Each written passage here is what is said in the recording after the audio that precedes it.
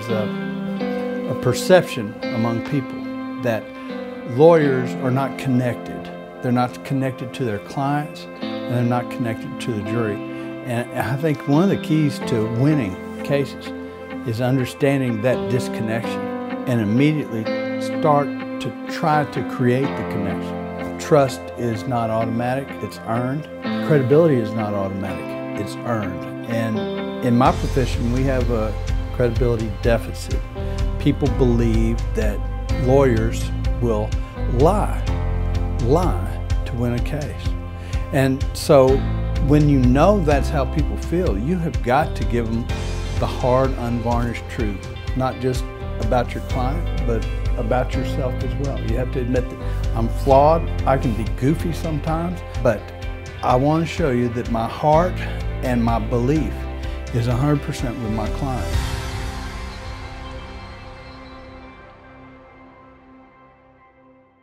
My dad was a lawyer, and I decided at the age of eight years old I wanted to be a lawyer, but I had no idea what it involved. Uh, I knew that uh, my dad was a politician, he was a state representative, district attorney.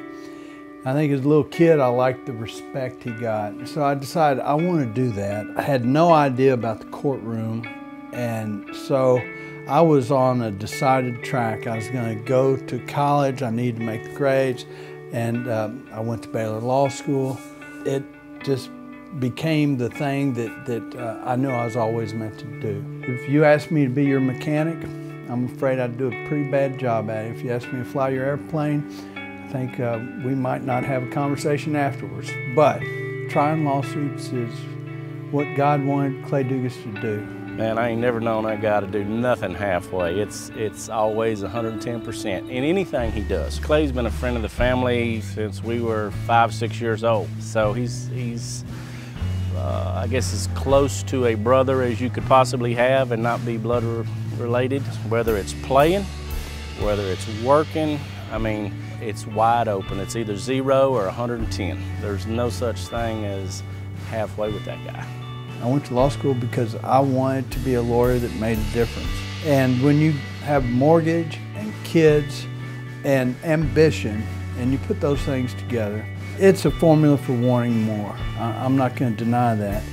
But when I got into it after a while, I realized that there's nothing more humiliating than somebody who, through no fault of their own, is hurt and they can't work and they don't have an income and they have kids that uh, have Christmas coming up. They have they have needs that to be met. They have utility bills, all these pressures, and it's so humiliating for them during that time period. I've been broke myself. I've been flat broke. I've, I've moved around with, with cars where I had to fill the radiator up with ditch water to keep it going. In law school, it's humbling. Clay is a rare breed of a combination of both technical knowledge and then that also uh, innate ability to fight like a madman. He's an absolute expert in the industry and has taken on so many cases that he has so much experience. His body of work speaks for itself. He's ready for a fight because he's so prepared for a fight. My dad was a tough negotiator and I'm different from my dad, but inside I think I've got the same fight. I think I've got that same fearlessness that, that he brought to each and every case. Well, Clay was born and raised in Texas, and he is a Texas guy through and through. And, and the perception typically of a Texas man is that he's a tough, Wild West type outlaw, and, and that's somewhat befitting for Clay because he is tough, and he will fight, uh, and he will uh, be somewhat of a modern day gunslinger as he goes out and uh, rights wrongs. Texas is blessed. We have the best economy in, in the nation, but we also have a huge increase, increase in fatalities in tractor trailer accidents. Anybody that's driven on I-10 knows that there's gonna come a time you're gonna get bullied uh, by a truck driver. For the United States alone, it's about a $730 billion industry. And when you add Canada and Mexico to it, it exceeds a trillion dollars in annual income, the trucking industry. Truck driving is hard. The way they get paid, it's by the mile. the dispatcher oftentimes doesn't give a flip about their hours of regulation because let's face it, if, if the driver gets pulled over, the dispatcher doesn't get written up, but it affects the driver, it affects the livelihood. So they have to go out many times and take risks that they shouldn't have to. Trucking litigation is a natural fit for Clay, uh, quite simply because there's such a high volume of cases. There is a lack of training and, and safety regulations that are solving the issues that come with accidents, and that's the type of thing that Clay can pinpoint and find that niche and really make that difference that he's looking for. See, it's not about uh, Clay versus truckers, it's about Clay versus safety or the lack thereof. We're not against truck drivers, we're against bad truck drivers, we're against dangerous truck drivers. If I told you about the kind of truck driver who was doing hundreds of web searches uh, right before he crashes into another 18 wheeler and jackknifes into a car and burns that occupant to death and kills a great grandmother and her two children, I think you'd have to agree. We don't like that kind of truck driver. And believe it or not, that truck driver was the trainer. The other one was in the sleeper berth. I don't think there's any safer organization than air transportation. The FAA, I think, does the best job in terms of safety. It's rare when a plane goes down, it's rare when somebody dies. They have zero tolerance. You know, if somebody even thinks about getting onto an airplane drunk, they can go to prison for life. I think the target has to be that we have to have alignment between our standards for our pilots and our standards for professional truck drivers. Why should they be different? If you're haul, hauling hazardous fuel, toxic chemicals, explosive chemicals going 75 miles an hour down the highway, 80,000 pounds, families in SUV, left and right, kids in school buses, left and right. Why shouldn't the standards be exactly the same?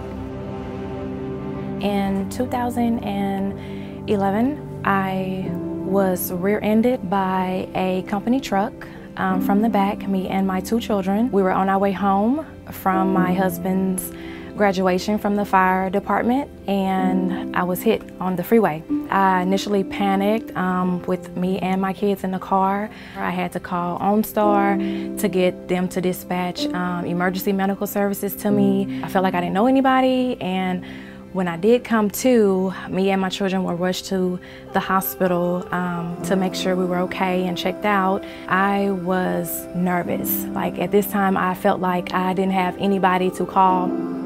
After I kind of calmed down, I did some thinking. I was like, okay, I can approach this two ways. I can try to do this myself, which I really think this is gonna be impossible, or I can try to get somebody to help me because me against a company is probably slim to none. So I looked around the phone book and actually that was the first name in alphabetical order pages. And I was like, you know what, let me give this guy a call. At first I was a little skeptical because I was like, you know, attorneys, I've heard they're really not your friend. They are only there for a check, but Mr. Dugas was totally opposite. He was very down to earth. I almost felt like I found a, a friend. He's a father. I know he can understand that, you know, anytime you have small children in a car, that's hard. That's hard to get them back and forth to school. That's hard to get some activities. That's hard to try to accompany them with the things that they need. And Mr. Dugas assured that everything will be okay. We'll get get you. We'll get you another vehicle. We'll get you where you need to be, where you can live a normal life again. The number one thing we all want at the end of the day is to go home safe to our loved ones. So many times what I see are people that get in accidents with big trucks and they're shocked and they're stunned.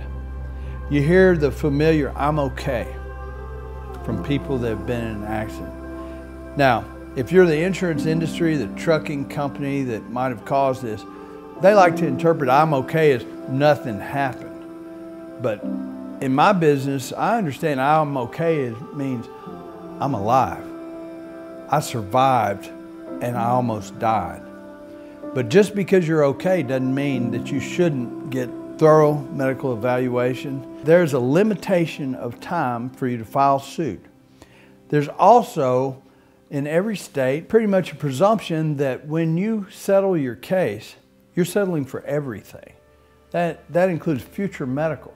I like to tell my clients uh, in kind of a, a serious way. Now, you understand that by signing this document, that if you walked out the door and you fell over dead, this is all you'd be paid. So if it's all the money you're going to get, why, why on earth would you wait until after you had signed on the dotted line with the insurance company and then get evaluated and say, oh my God, I've got a serious issue. You owe it to yourself to get fully evaluated. He doesn't give up. He just, he fights for everything that the client is entitled to. He fights for justice for his clients. He's, um, he's amazing. I've heard of a lot of offices, uh, attorneys' offices that say they never meet their attorney. Well, Clay, he goes out of his way. He goes to their houses. He uh, meets them after hours. You know, like some of them can't get off work till five, and and it's hard for them to get in during the day. They miss work, they miss pay. So he goes to their homes and he meets them after work, and he he accommodates their hours, their availability. We are in the service industry. What kind of service industry says we're only open nine to five, no weekends? Not too many successful ones. You know, need and demand in my business doesn't happen Monday through Friday, nine to five.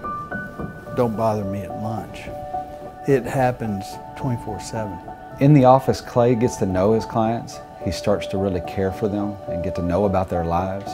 It helped me emotionally just to know that I wasn't by myself, you know, even though I was the one that was injured. Um, I felt like I know it was worth the fight because I couldn't let the other person win. He treats the courtroom as if he's entering the boxing ring. His reputation is that he is an absolute warrior in the courtroom and it is not uncommon behind closed doors for other attorneys to admit that they would much rather settle than ever end up in the courtroom against Clay Dugas. I have a philosophy, and I got it from The Art of War, Sun Tzu. And it basically goes like this. If you want your opposition to prepare to settle, prepare for all-out war. If you want your opposition to prepare for all-out war, prepare to settle. We prepare for all-out war each and every case.